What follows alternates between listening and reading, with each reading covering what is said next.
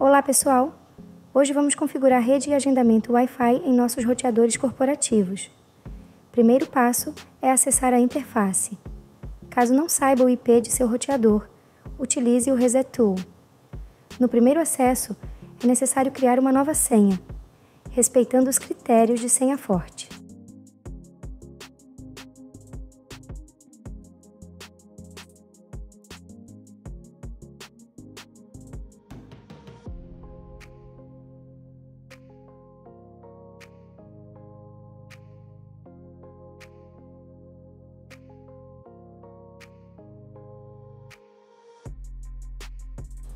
Ao acessar a interface, vamos em Wireless e Wireless 2.4 GHz. Vamos clicar em SSID. O SSID é o nome da rede Wi-Fi. O tipo de autenticação usaremos WPA 2PSK.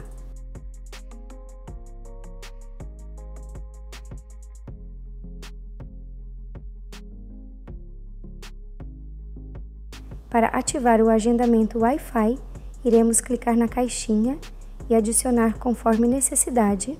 Aqui iremos colocar regras apenas para domingo e segunda.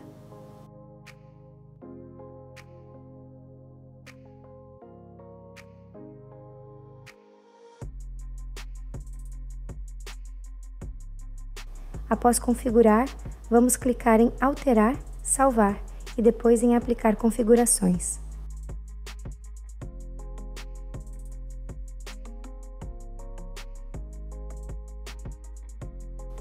Para acompanhar a volta do AP, podemos deixar um ping rolando.